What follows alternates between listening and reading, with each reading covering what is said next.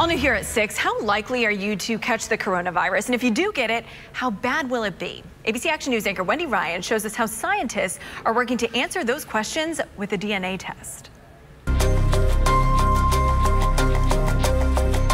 What has COVID been like for you this year?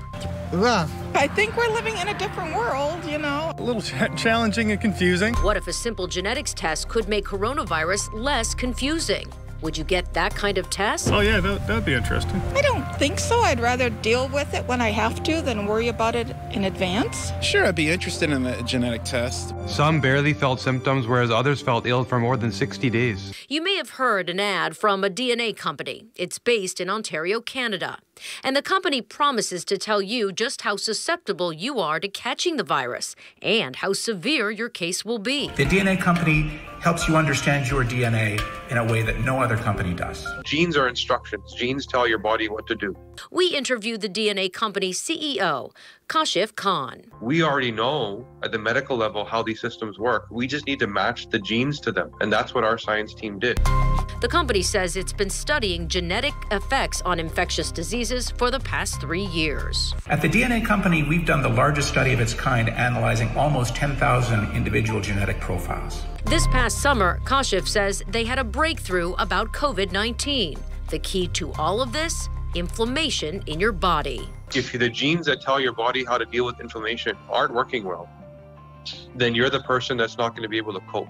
For $299, the company will do a full DNA analysis, give you COVID related information, and tell you how to change your way of life to avoid suffering from the disease. Now there's something that can actually be done because we can map out genetically why you're at risk and why you're sick. Genetics underlie some of the risk of COVID disease for sure. Dan Rader is the chair of the Department of Genetics at the University of Pennsylvania. To be perfectly honest, I don't think we're ready yet to be applying genetic principles to the clinical application of am I at risk of severe COVID disease. We just don't know enough yet. But he says experts are working on it. Welcome, everyone. Andrea, are you going to lead off? This is the COVID 19 Host Genetics Initiative. It's a group of researchers from around the world.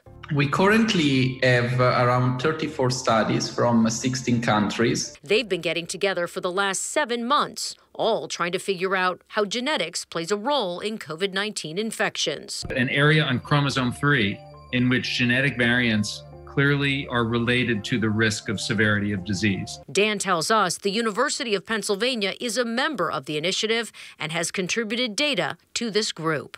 Age, race, ethnicity, obesity, heart disease, lung disease, all the things we've heard about are really much more important right now in predicting risk than any kind of genetic variation that you might pick up with a genetic test. What is genetic and what's not?